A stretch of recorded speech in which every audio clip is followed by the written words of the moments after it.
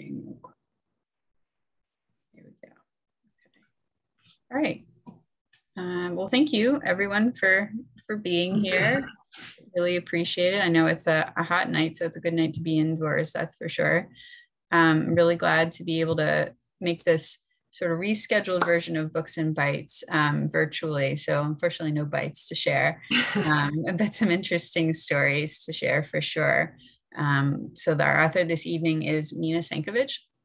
Uh, and this is, uh, you know, big thanks to the friends of the Belmont Public Library for making all of our events online possible, but especially when we have authors. Um, we're so lucky to have the ability to do them on Zoom now and, and have the authors who might be not so not so far away as Nina is, but not not necessarily right around the corner either. It really extends our reach.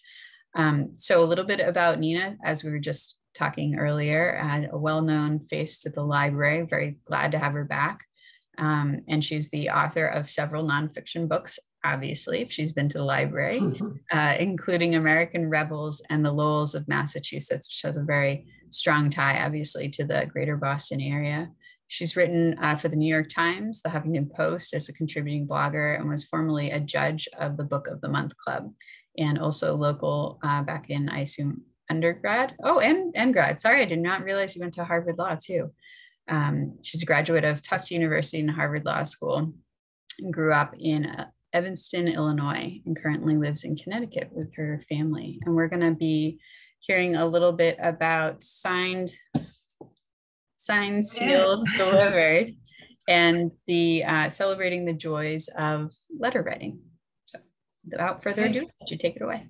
Well, thank you, Lauren. Thank you so much, and thank you to the Friends of Belmont Library for for um, funding this program. It is a pleasure to be back at Belmont Library, although I'm not exactly back, but back on screen, and uh, I appreciate that. Um, I'm going to go ahead and share my screen so that I can get my slideshow going. Um, let's hope that works. Yeah, there you go. Here's a stack of letters. I'm going to explain where these letters came from. So years ago, I discovered these letters um, along with about, um, well, I'd say a good 70 other bundles just like that. And I discovered these 70 or so bundles of letters in a rotting old trunk that was in my backyard. It was a new house. Well, it's actually a very old house, but it was new to me. My husband and I had just bought this very old house in need of a lot of repairs, so many repairs um, we hadn't really paid a lot of attention to the backyard of this house when we purchased it. It was a townhouse in New York City. You don't really look at the backyard that much. We knew there was a shed back there. We thought we'd just be tearing that down. Um, but we went out to the shed, took a look inside, and there was a an it's like old steamer trunk, um, the kind you read about, you know, in Edith Wharton novels that someone's going away for months and months and they have a steamer trunk full of clothes. But this steamer trunk was full of letters just a lifetime's worth of letters, bundles and bundles, as you can see, tied up like this with string um, or with ribbons. Um, I've got another, there we go. Uh, here's another, and this is an actual ribbon, again, from, from, the, from the trunk. Most of the letters, as you can see, most of the letters uh, were still in their envelopes. Some of them had notes scrawled across the top of them. Um, they almost all had like a date on the back of them about when they'd been received. For example, the first one I pulled out read, received April 4th, 98. That was 1898. When I realized these were letters that were more than 100 years old, I just couldn't believe it. Um, and we contacted the person, you know, our realtor, and tried to contact the seller, but the seller said this actually wasn't our family, and we're not interested in the letters, and you take them. And so I took them. Um, and my husband and I, we we uh, we we moved into this crumbling old house. We fixed it up, and there was a lot of time um, that went by before I really started delving into the mystery of these letters, where they had come from, who was the who was the who had they been addressed to? Who was this, um, you know, person who had saved so many letters? And um, what I found out was that, uh, let me go to my next slide. So in this trunk of letters, um, I not only found in this trunk of letters, I not only found letters, I found this newspaper. And the newspaper announces the weddings. It's a brilliant wedding. It's the wedding of a woman named Addie Bernheimer, and she married a man named DeWitt Seligman. And as I looked through the letters, it turned out that most of the letters and all of the letters were really addressed to Addie, either Miss Addie Bernheim or Miss Addie Bern, Mrs. Addie Bernheim Seligman or Mr. and Mrs. DeWitt Seligman. These were the letters that this woman had accumulated um, over her life. Um, many of them written by her husband, and I'll get later to, to who else wrote a lot of the letters, but I want to tell you a little bit more about Addie. So this is her wedding announcement. And um, not only did I find this in the trunk, but I also found a glass plate photograph of Addie and DeWitt on their honeymoon. So here they are in Niagara Falls, and they are on their honeymoon. I'm going to go close up so you can see. Here they are. They don't look that happy to be on their honeymoon, but there they are. And Addie is wearing this beautiful little bonnet. And I also found in the trunk the bonnet that she wore on her honeymoon. And it looks as fresh as the day she wore it. Look at those are silk flowers, silk violets, and they're just beautiful. So all of these artifacts in this trunk just were so entrancing to me. Just it's incredible that this trunk had come to me. And the best part of all was still to come because I had all these letters to read, all of these letters to, to, to go through and find out more about Addie and DeWitt. Well, I slowly started to figure things out. I did also some Google searching to find out more about Addie and DeWitt. They had three children. Ethel was their oldest, and she was my connection to this house because she was the first owner, along with her husband, of this townhouse. Um, then they had a middle child, another girl named Alma, and their youngest was a boy, a boy named James. Youngest child, only son, he was clearly adored by his mother.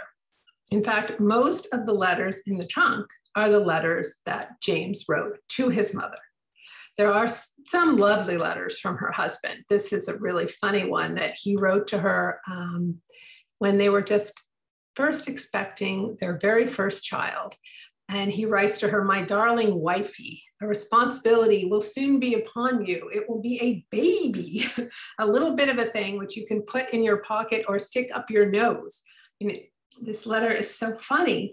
Um, he goes on to give advice to Addie about how she should raise the child. Um, let's see, prevent the child from eating foie gras the first three days of life. By the sixth day, though, the child can play baseball, and by the 10th day, the kid can run for Congress. It is such a funny letter. And what I love about it is it, it seems so contemporary in, in the humor, um, in the ease with which he's writing to his wife, but also gives us real insight into the family dynamics, into the love between this couple and how excited they are about having a child. Um, there's just a charming letter. But as I say, most of the letters in the trunk were written by James from about the time he was four years old, which was 1894, he was four years old, until the time of Addie's death in 1937. Here are some examples of letters he wrote when he was very young. and most of the letters, so hundreds of letters I found that James wrote to his mother, and almost every one of those letters was signed, Your loving son, James. Now, during the four years that James was at Princeton, he was there from 1908 to 1912 he wrote to his mother as often as three times a day, a day. See, the mail came in the morning and also in the afternoon. It went out in the morning and also in the afternoon. So he wrote to his mother, he just these little postcards generally, um, just to kind of fill her in on his day. My, my favorite letters, um, as I said, are, are the ones that, um, let, let me go back because I want to talk a little bit about um, so here are his early letters again. Now he kept, I, am going to talk more about his college letters, but I also want to say that even after he got out of college, he continued to write to his mother. So even, you know, he got married, he had a career, he traveled the world. And this is one of the letters that I have here. You can see he's aboard the Mauretania writing to his mother. I mean, it's just incredible, these old letters. And the letters of when he traveled with his wife, um, the letters of when he traveled before he was married, they're all very fun and interesting. But the letters that I love are the ones he wrote from college. So he just loved college. He got there, he'd been sort I, I got a sense he was a very pampered child in New York City. He gets out to Princeton, all of a sudden he's pretty free to do what he wants and he has fun. He has so much fun. Um, he had such an appetite for experience, for, for pleasure, you know, some a bit for classes. He, he writes in one of his letters, I'm getting a good college education, developing like a film, apologizing to the grass every time I step on it, scrambling like an egg, yelling like a bear, telling the upperclassmen to go to hell. Studying did not interest him very much. He writes in one letter, I will study later after my nap. And fun was just to be had in everywhere he went. He, he said, he wrote to his mother, I saw the game with Penn last night. This is Princeton playing Penn. I think it was a basketball game. It was interesting. The game? Oh no, the girl I was sitting next to. Here is his college photograph. Uh, Princeton was able to locate that for me and sent it to me. So very typical college student. He always seemed to be in need of money. He wrote in one letter, My supply of cash is almost extinct. I haven't opened a bank account as you advised me not to. So that's how the math stands. Um, the latest is a pair of black garters. So blew myself to a pair. Hint, hint, send more money. I bought some garters and I need to pay for them. Um, and guess what? Money was sent. And he writes back when he receives money, he's very polite. He says, I cashed your first check found very little trouble in cashing it. In fact, if you have any more checks you need cashed, kindly forward the same and I will oblige. So he's just a very charming young man. And four years of college later, he's still happy for the checks. He writes in a letter senior year, your letter and your check couldn't have possibly been more welcome, especially the latter. If you send a check with every letter, write as often as you want, twice a day if necessary. I, ha- I really have to give credit to James for, for being so funny about asking for money, being appreciative when he gets it, um, and just for being the kind of college kid that I could, I could, could completely relate to, even though he was in college 100 years before my kids were in college. So my kids are going off to college. This is uh, quite a bit later after I found the letters of James Seligman, and, and I wondered, are they going to write to me when they go to college? And it made me think about these letters that James had written. It made me think about why did Addie, his mother, say these letters? And why did I want my children to write me letters? What is it about letters that makes them so special? I wanted to define the qualities that make them special. Um, I mean, I really doubted that my son was going to write to me, but I thought I could write a book about why letters are so important. And maybe it will convince him to write to me. So, to answer that question about why letters are so important what are their specific and singular qualities um, that make them such a great form of communication. So, to answer those questions, I researched back through thousands of years of letter writing, and I mean thousands, because I'm going to tell you about letters that are thousands of years old. I went through my own correspondence, so that's only like you know a few decades old. Um, and I went and letters that had been sh- shared with me by friends and family, letters of their own that they had saved and wanted me to see. I also researched in university and town archives. I went through historical collections in libraries and published collections of letters. And in my book, Signed, Sealed, Delivered, Celebrating the Joys of Letter Writing, in that book, that came out of my research and my intense hunt for the exact qualities of letters that make them so vital, I identify the specific qualities of letters that I found. And I illustrate those qualities by telling stories stories of these letters, stories of who wrote them, stories of why, stories of who received them, stories from my own history, but also from ancient history all the way to contemporary history. Now, the quality of letters that I identify, um, I'm just going to go over a few of them. Well, for example, the privacy. Letters afford incredible privacy. Um, the uniqueness of every letter.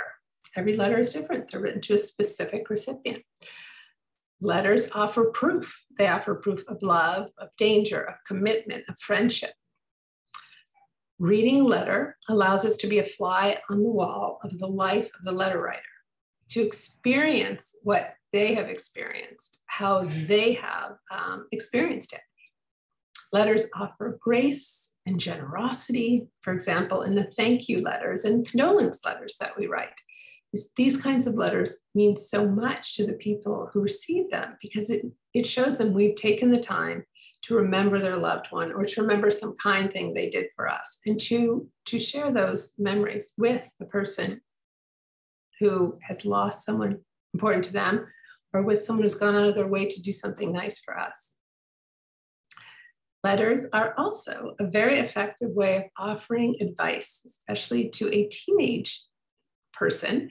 Um, you need that sort of space and time. If you write advice out on a letter and hand it to someone, they can take that letter away and, and be private with it and, and kind of let the advice absorb and then respond. There's not that sort of confrontation. Are you going to take my advice? No, there's time.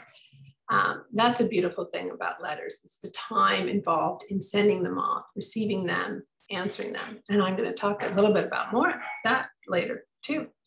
Um, letters are a bridge between the past and present, between ourselves and others.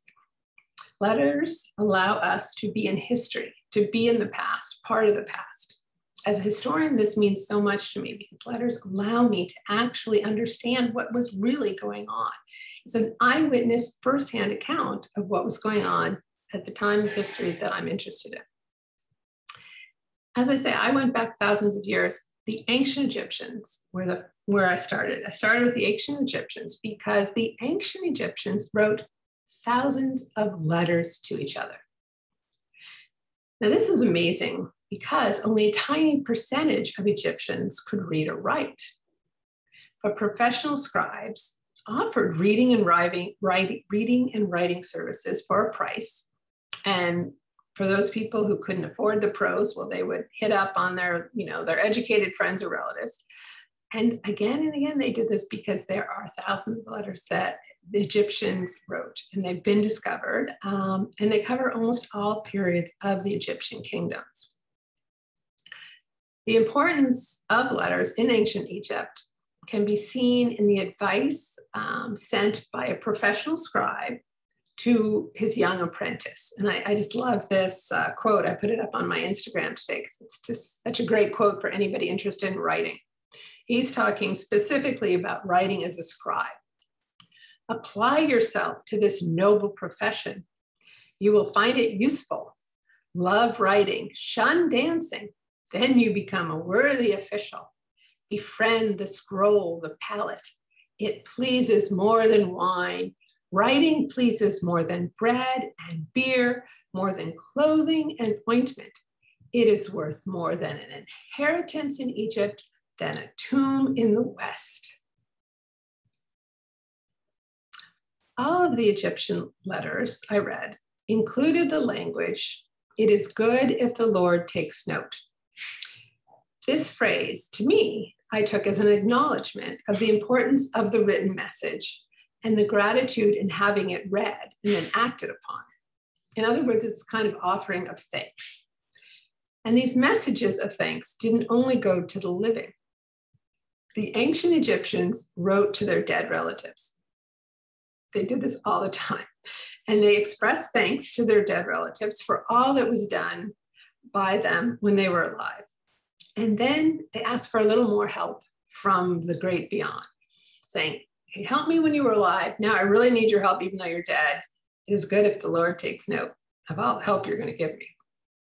So clearly, the ancient Egyptians expected that in gratitude for a letter well written, the asked for favor would be carried out, even from beyond the grave.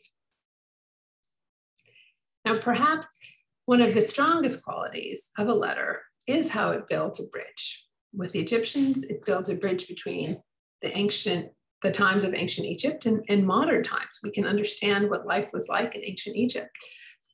Letters also create a bridge between those who are far away from us in the present time. Most of us, for example, missed uh, the presence of family members and friends during our COVID 19 quarantine times.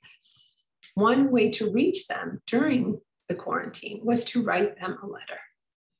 Letters written to friends and family are just unique and singular communications. They're so specific to the person to whom you're writing. They're written with care and time and attention. When we write a letter, we are actually creating a moment in, in time between us and the person to whom we write.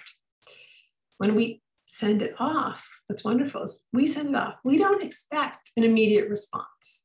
We've created a moment, we've sent it off, and now we let time go by this is so unlike what we expect and hope for with our emails or our texts. We, we don't check for updates or changes in status when we send up a letter. We go back to our lives and we do things so that we can have more to write about in our next letter.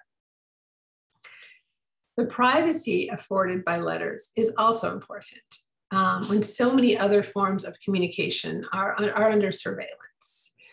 When we write a letter, we expect it to be for one person only. We write freely and openly, and we share what's in our heart. Legally, our letters are protected. To mess with a US mail is a felony offense. Practically, we can also protect our letters, hiding them um, or destroying them if we don't want anyone to find them. In 1578, the poet Sir Philip Sidney worried that his father's personal secretary was reading the letters Philip sent home. He wrote a note directly to the secretary, warning him against violating the sanctity of letters. He wrote, If I ever know you do so much as read any letter I write to my father without his commandment or my consent, I will thrust my dagger into you. That's a warning. One of the letters which Addie Seligman had in her trunk had a note scrawled across its envelope. They all had notes, but this one was a very specific note. It said, Nobody to read this. So it was written on the outside of the envelope. Well, when I saw those scrawled words, I confess it only made me want to read that letter more. I mean, I respect the privacy of letters, but I wanted to know what was so terrible in the letter that reading it had to be forbidden by Addie. It had a postmark of Deauville, France, um, 1923. And I figured, come on, it's an old letter. Any scandal or horror it contains is long past. These old letters were part of history now, and I couldn't stop myself. I'm a historian. I opened the letter and I read it. I did. What I found inside was a bit of gossip about Peggy Guggenheim, who is a, was a cousin of James. Uh, she was the daughter of the wealthy banker Benjamin Guggenheim, who was married to James' father's sister, Florette. Now, Benjamin and Florette went down on the Titanic, leaving to their daughter, Peggy, a considerable fortune and the freedom to do whatever she wanted. And what she wanted to do was collect art and men, go to parties, have a good time.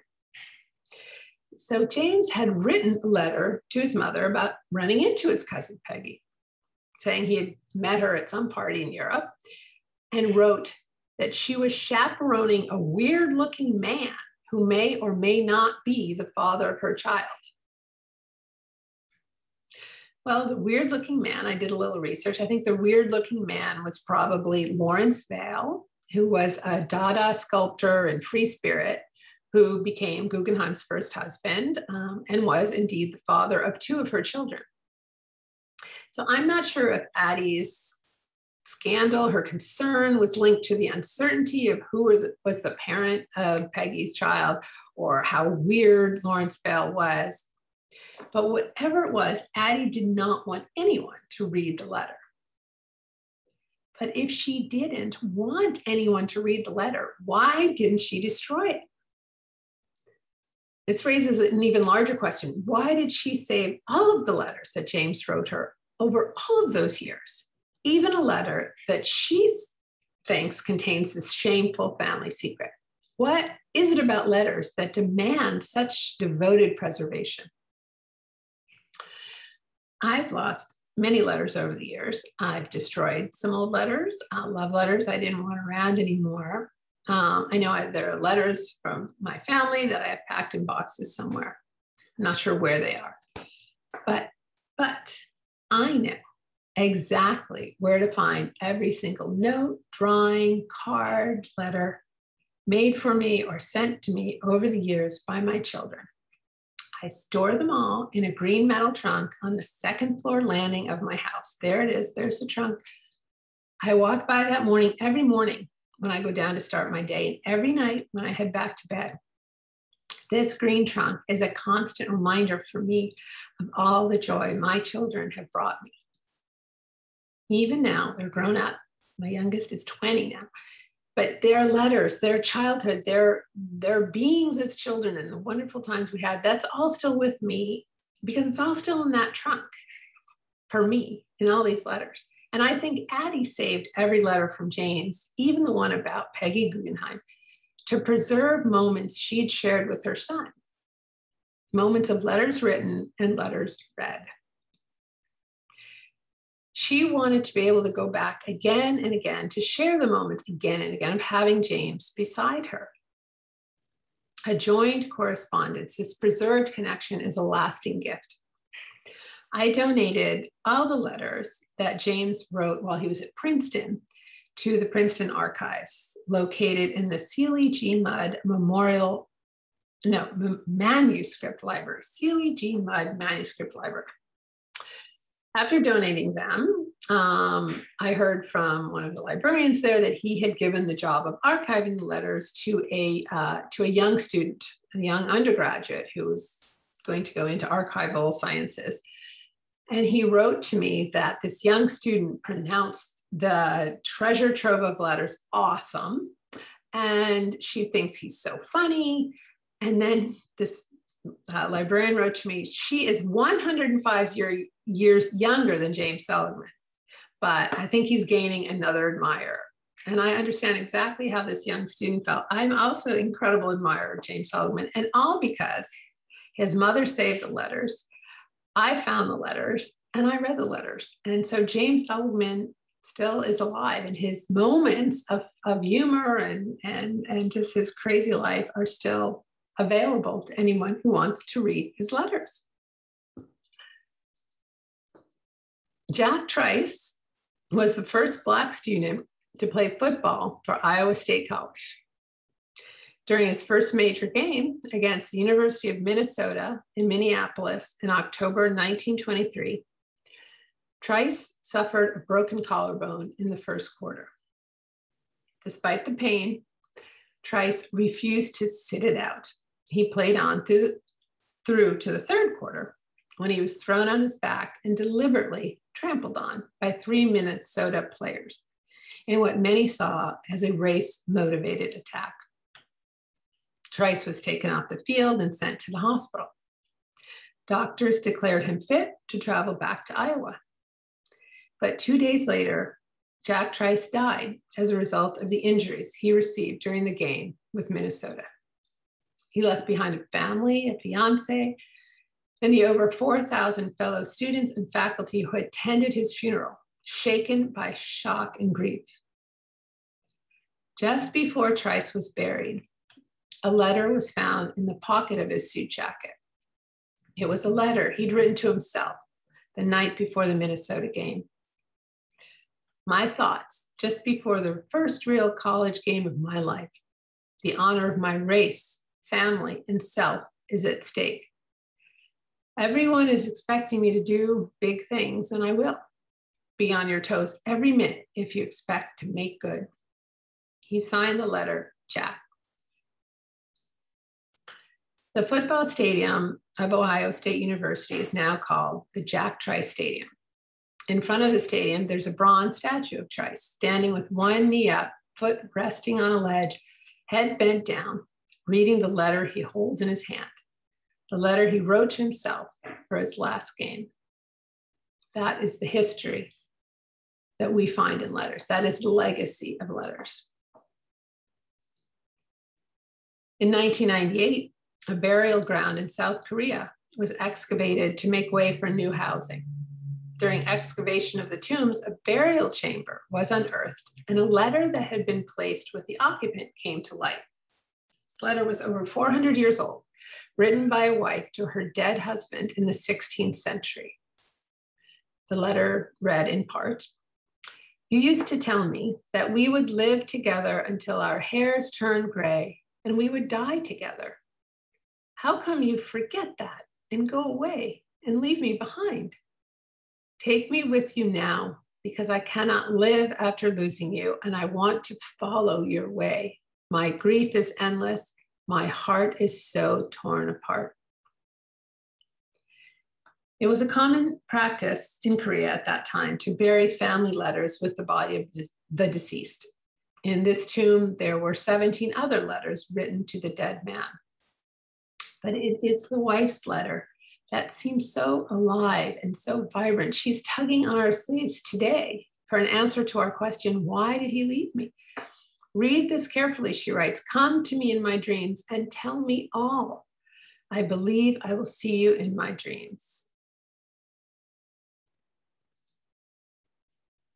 Most of the letters I read today were written long ago. I have to say, I, I received letters, I'd say about on a weekly basis, but the hundreds of letters that I read during a year of research as historian, of course, come from people who wrote them long ago. They're letters that I find in library collections and historical archives, old books. Through these letters, I meet people, some of them who I've heard of, like, uh, of course, this wonderful letter written by Vincent van Gogh. You can tell it's him by that um, wonderful drawing. He, he wrote this letter to his brother and you, I could write a whole book about, and people have, so I don't need to, but people have written whole books about the correspondence between Vincent van Gogh and his brother Theo, who really kept him going, and, and Theo's wife really kept him going. And their letters are just a joy to read. For my last book, American Rebels How the Hancock, Adams, and Quincy families fanned the flames of revolution. I had to dig into the letters of, of people we all know pretty well um, John Hancock, John Adams, Abigail Smith Adams. My book is about how those two Johns, John Hancock, John Adams, and Abigail, along with Dolly Quincy Hancock, Josiah Quincy, and other early activists for American independence, well, they all came, they spent their childhoods in Braintree, Massachusetts. Um, Abigail Adams was from the town over, but she spent most of her time with her grandmother who lived in Braintree. And they formed deep connections, this group of young people, connections that lasted into childhood, connections that they shared through letters that I read, connections which help us understand today how they had the courage to, to seek independence from England, to rise up in the 1760s and 70s and declare independence for the American colonies in researching that book, I read through stacks and stacks and stacks of old letters. I got headaches trying to decipher the uh, the cursive writing. It's it's beautiful writing, but it is hard on the eyes. I combed through seemingly endless microfiches of old letters, which is really a hard way to read a letter, um, all in search of these connections between the members of the Hancock, Adams, and Quincy families. I was a research fellow of the Massachusetts Historical Society, so I had access to the most fantastic collection of the letters themselves. To be able to see them um, was just amazing. And really, uh, for anybody interested in American history, in, in family relationships, in political movements, in daily life of the 18th and 19th century in America, for anyone interested in humanity, period, the letters of John Adams and Abigail Adams and their extended family are just amazing, wonderful to read. Um, I especially, of course, love the letters between John and Abigail through their courtship, which started in the 1760s, and through their the life that they shared until Abigail died in 1818. So here's uh, here's them um, around the time of their marriage. In John Adams' very first letter to Abigail, sent through uh, her sister Mary, who was engaged to be married to a close friend of John's, John Adams made a joke about King George, who who just come to the throne. He was a young, handsome king. Um, and he makes a joke about how Abigail better not be having a crush on this young king. And it's so funny to think how, you know, John Adams makes a joke about rebelling against the king because in this context, he doesn't want Abigail to have a crush when in fact he's going to go ahead and seriously rebel against the king in another 15 years or so. Um, in this letter, the 1761 letter, he teases Abigail, warning her against becoming a most loyal subject to young George. For if Abigail were to show too much favor to George, although my allegiance has hitherto been inviolate, I shall endeavor in all my power to foment rebellion. I mean, how incredibly fitting are those words given what was to come. Well, from that time on, from that very first letter, you know, the letters flowed back and forth between John and Abigail. She was then spending most of her time in Weymouth. Um, John's actually in Braintree, but he was also all over the place, um, teaching, um, teaching, and then studying law. Um, but the love letters flowed between them. They had these little names for each other. John called Abigail Miss Adorable. Um, she professed herself bound to him by a threefold cord of humanity, friendship, and physical attraction. And the physical attraction comes through in the letters. Uh, John demands as many kisses and as many hours of your company as possible. And Abigail replies with the endearment of my friend, my friend John, which is a term of considerable intimacy in the 17th, in the 18th century. One letter she wrote ended with, accept this hasty scrawl, warmed from my heart. Here is that letter, and you can see it's signed Diana. So this was another, uh, she went by Diana, he went by Lysander. Lysander was a heroic Spartan admiral. Diana was the Roman goddess of moon and hunting. So they had these cute little names for each other. Now, I was able to see the actual letters written by John and Abigail, but what is amazing, and I recommend this for everyone, you anyone can go to the Massachusetts Historical Society website and see all of their letters digitized um, and also transcribed, meaning you can really understand what the letters are about. You don't have to try to figure out the handwriting. I mean, I still make it part of my weekly routine to just go onto the site, put in a word, like I'll do a word search, clouds or spring or geese, and I discover a new letter written by John or Abigail that I'd never seen before. Here's one that she wrote to him in 1777, and it's very lovely letter. Um, I've looked back, as I say, over a millennia of letter writing to understand the particular and wonderful qualities of letters that make them such an enduring method of communication. And I found so many reasons to write a letter, to build a bridge across time and space, to communicate freely and in privacy, to create proof, to create a unique and singular document. Why do I read letters? Obviously read letters that are sent to me because they're sent to me. And I read the letters in historical collections and book collections and, and all over. I read those letters because of the vital living link as a historian. It's so important for me to find that link between the present and the past. And that's what letters do. But even more, I have to say, what really draws me are letters like the, the you know, these letters that Abigail writes to John Adams or just to see tenderness and kindness, um, to see someone try to give advice, to see someone try to leave a legacy. To I've read letters where a man is trying to explain to his son what he did in the war, so he can always know what did your father do in the war. And love. I, I see so much love in letters, and I find that very heartening. I'm going to close with a letter written by John Hancock to his beloved Dolly Quincy, pledging his love forever. So here it is. It's a uh, copy there. And um, so it started all my love to my dear aunt. So uh, that was Aunt Lydia with whom Dolly was staying. Um, and believe me, my dear, what I profess to be yours or hope to be, profess to be, hope to be, yours forever, John Hancock. And he had to wait a long time. He had to wait 11 years to marry Dolly Quincy. But they finally did get married in August of 1775 in a house just, just up the road from where I live now. The house was burned down by the British during the war and then rebuilt in part with money paid for, uh, paid partly paid by John Hancock.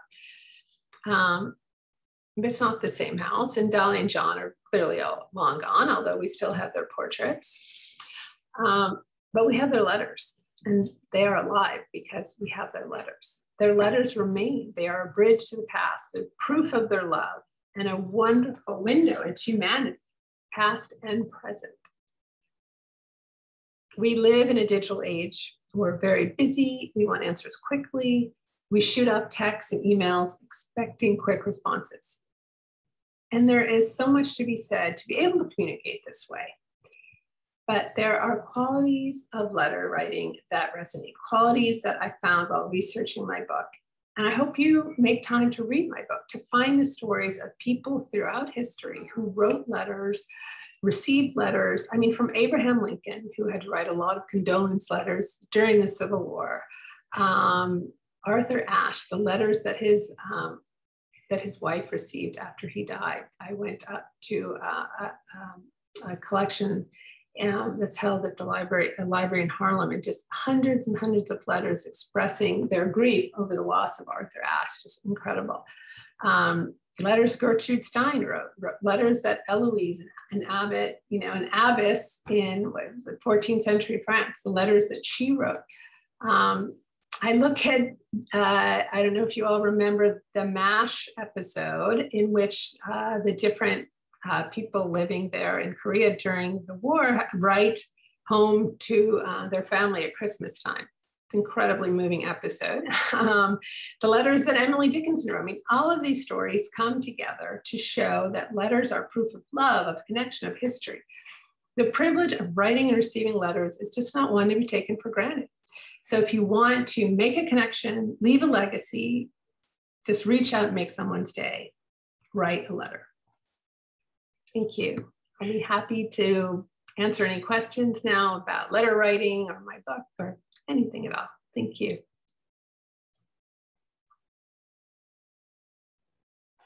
Thank you so much, Nina. That was um, fascinating. I was just flipping through some of the this the parts that I'd sort of forgotten about, which some of which you touched on. Um, the Heloise being the nun, right? If, she yeah, well, she ended up being an abbess, but she started out as a nun. Yeah. Yeah, yeah. It was. I mean, I thought that was. Um, so one of the things that I thought was really interesting is, and I'd love to hear your perspective on it too. Is you know, you're right. We definitely attribute a certain amount of confidentiality, not just because it's the law, but like in general, right? I love that slide though. It's like felony. yeah. And it's true. I mean, people, you know, it is a it's it's a serious crime. And it's interesting to see that it seems to me that we um so there's something about the paper format that seems to be that people take it a little bit more um, seriously than like giving away their information online in very right. free ways. And then it's so much easier to, you know, break that confidentiality. Do you feel, do you think it's something about like the actual mode of writing on a, pe- a physical piece of paper? Um, I, I I mean, I don't, I don't have an answer there, but um, yeah, that's a good. I mean, I do think so. I think we're so used to just like banging out an email, and we kind of expect this could be forwarded or we should know. I always tell my kids, you know, your emails can be forwarded to you don't know where they're going to be forwarded.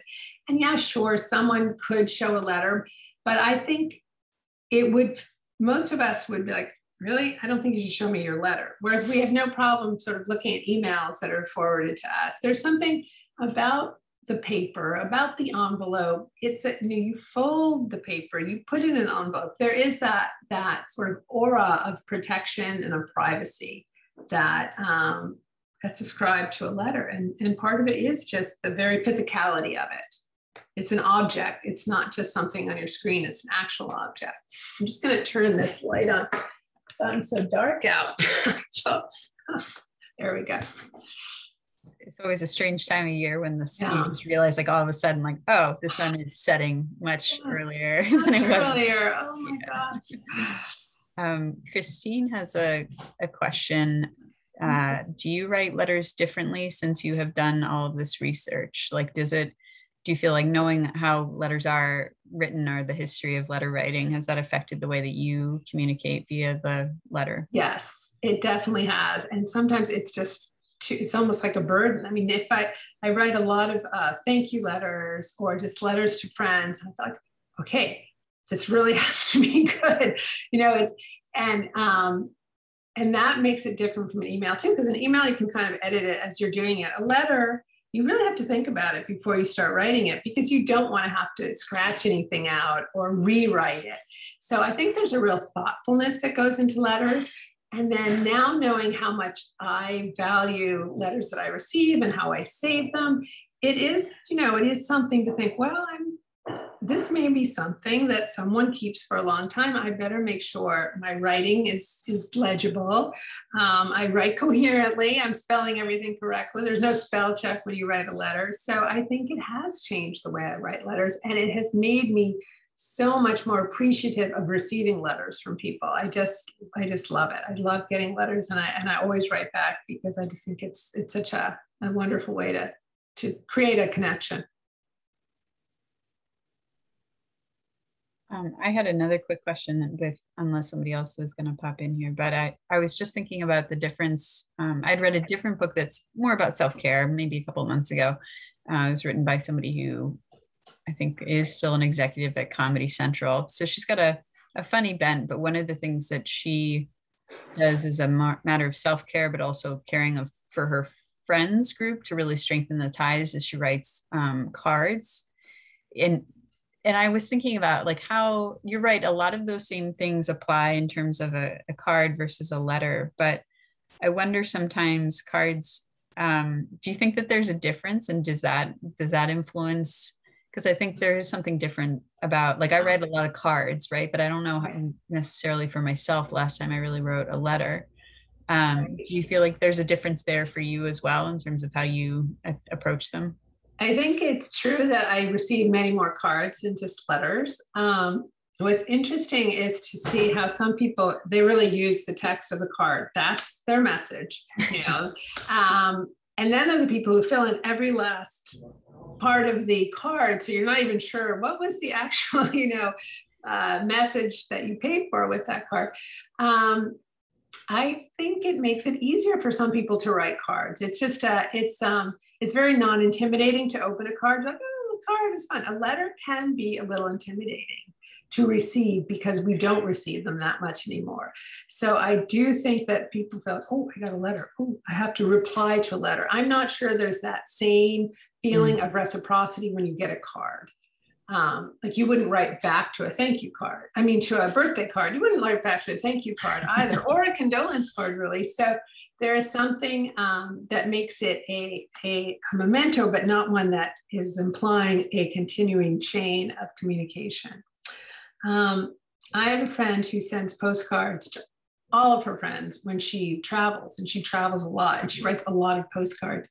And that's a real commitment for her because she says she tries to make every postcard different, but she's writing to like 10 different friends from, let's say, the Grand Canyon. There are how many different ways can you describe the Grand Canyon? But she says she does it. Um, she's a writer, and maybe for her, it's a kind of exercise in writing. How many different ways can I describe the Grand Canyon? Uh, but I do like that I that idea of, of writing cards friends and i love it once in a while i'll get a very unexpected card from a friend where you know it will be like a funny picture oh, we, i thought of you when i saw this card and I like that. It's very nice. It's very thoughtful to get a card like that. Yeah, blank cards with the funny photo. I think are um, they're more like a they're like a writing prompt. They're the most letter right yeah. letter like version of a card I could possibly yeah. imagine. Yeah. yeah, it's interesting. Um, does anybody else have any any questions? Ah, Christine, yes. Were you a kid who had pen pals? Did you have a pen pal when you were younger? Well, I, I had um, cousins who lived in Belgium and I was in the Midwest, and um, they wanted to learn English. I was not going to be able to learn Flemish, I didn't think, but I was very happy to write to them in English. And my mother really encouraged it because it was hard for her. She left Belgium in 1957 and left her family, and that it was hard for her. And she, for her then to see that her sister's children were writing to her children, for her, it was really important for us to keep up that relationship. And I'm still friends with my cousins. And I think in part it's because of the letters that we did exchange as children. And at first, maybe it was a little bit of a chore. Oh, I have to write to my cousins. But it quickly became something that I looked forward to getting their letters. And, and I think they looked forward to getting mine as well. Sort of adds to a, um, a sort of component of, of growing up together, even though you're very far away. Like you said, it brings that immediacy, um, even though you have a, you know, there's the chronological distance in time, but then which letters sort of bridge, but then there's also the um, the distance because uh, you're totally right. I had a similar um, similar experience growing up for myself um, with a cousin. I guess she's like a second cousin. It's like my mom's cousin, and then whatever our relationship yeah. is uh, in Norway. So same oh. age, um, you know, but uh, farther away, obviously. Oh. So, or not far, you know, not far away from being, you know, it's in Europe, obviously, but you know what I mean. So. Yeah, no, Norway's far. True. And were you a- ever able to meet that cousin in person? Yeah. So okay. um, we traveled in large part because, and it's actually funny now I think about it.